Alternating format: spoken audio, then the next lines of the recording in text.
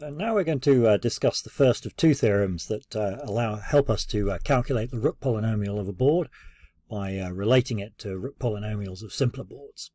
So this is called the blocking and stripping method. So uh, we take a uh, take a, a, board like this, and here we've written written down what the um, rook polynomial is: one plus eight x plus nineteen x squared, fourteen x cubed, two x to the fourth. Uh, remember, you always always start with a 1, and then the coefficient of x is just the number of white squares, which yeah, we can count them, there's 8. But then uh, 19, 14, 2, those are harder to calculate. Um, so how could we calculate this? Well, there's this uh, blocking and stripping theorem. So for that, what we have to do is we have to choose one of the squares here. Let's choose this one. We'll mark it with a circle. And then uh, we can uh, we can get uh, two new boards uh, from this.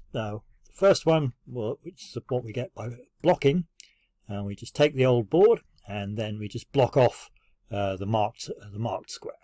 Okay, so this is a bit simpler because it's got one fewer white squares, and it turns out that the rook polynomial uh, for this board is is given here: one plus seven x, fifteen x squared, ten x cubed, x to the fourth. Okay, so we're not going to explain uh, exactly how we got this. You could do it by sort of further steps of blocking and stripping or other methods uh, you can uh, calculate the Rook polynomial and you find it's like this. And the other thing that we do is stripping. So stripping means we take this board and we just cross out the row and the column that contained the marked square. Uh, and then we just uh, squash everything back together to make it a square. Now, so now, you know, here blocking, we started, blocking gave us a board of the same size as we started with, but stripping gives us a smaller board. okay, and now this one, uh, this one is nice and simple. It's not actually hard to uh, work out the rook polynomial of this just sort of by inspection. Uh, and we find that the rook polynomial 1 plus 4x plus 4x squared plus x cubed. So how do we get back the rook polynomial of the original thing? What you do is you take the rook polynomial of the smaller board that you obtained by stripping, multiply it by x, and then you add on the rook polynomial of this board here. Okay.